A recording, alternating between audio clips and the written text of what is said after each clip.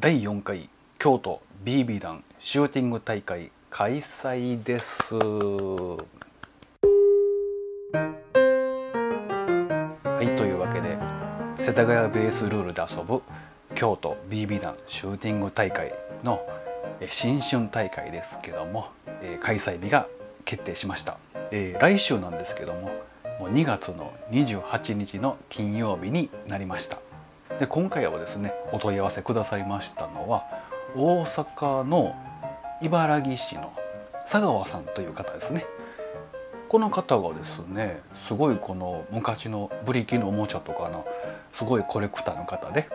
その方はその体力的なことで、まあ、サバゲーとか行かなくなったんですけど、まあ、シューティング大会やったらねそんなこう走り回るっていうのはないんで参加してみようかなということでお問い合わせくださいました。えっ、ー、とねお友達とお二人で来てくださるそうです。場所はですね京都市の隣亀岡っていうところのエイペックスフィールドっていう屋内フィールドになりました。でそこがですね11時から14時まで借りてますんで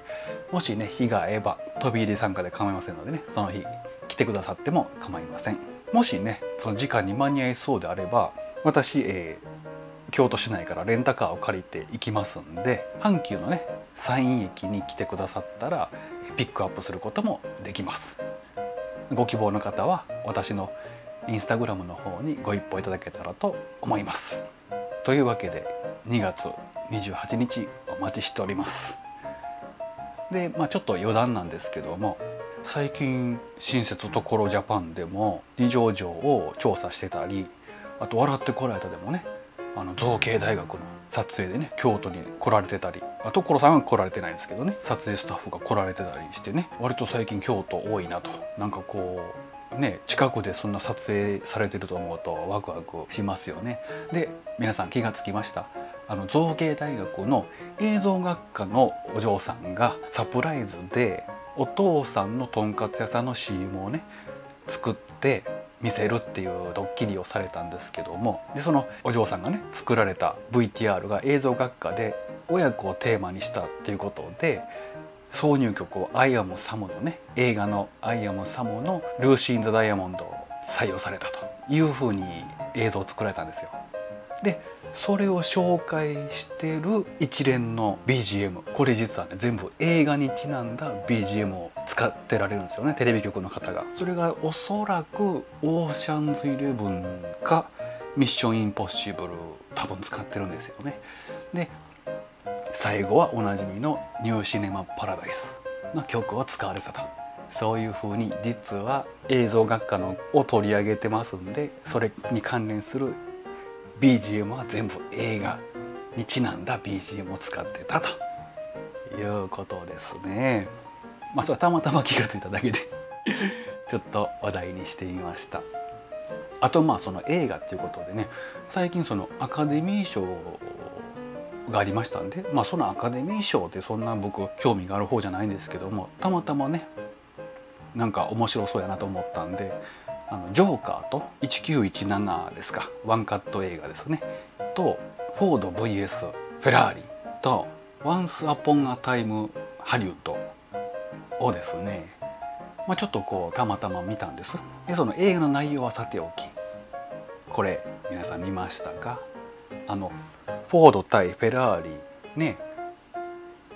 シェルビー・コブラがフォードとタッグを組んでえー、フェラーリと対決レースで対決するっていうとこなんですけども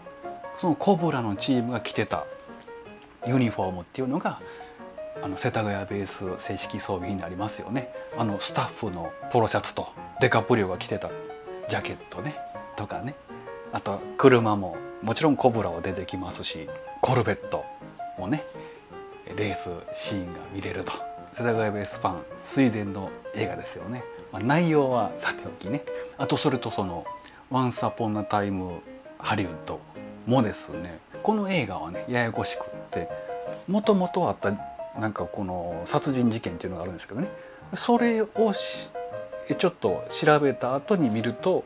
面白いっていう映画なんですけどほんまのちょっとしたシーンであの所さんのあの軍用トラックのラジコンのトラックあるじゃないですか。あのトラックが出てくるシーンがあるんですね。やっぱりこうアメリカの1960年とか1970年代を再現した映画になるとそういうおなじみのアイテムがね出てきてあとか思いながらね見てたというお話でした。というわけで、えー、話それましたけども2月28日金曜日京都 BB 弾シューティング大会参加してみたいという方飛び入りでも構いませんのでね連絡いただけたらと思います。それではまた。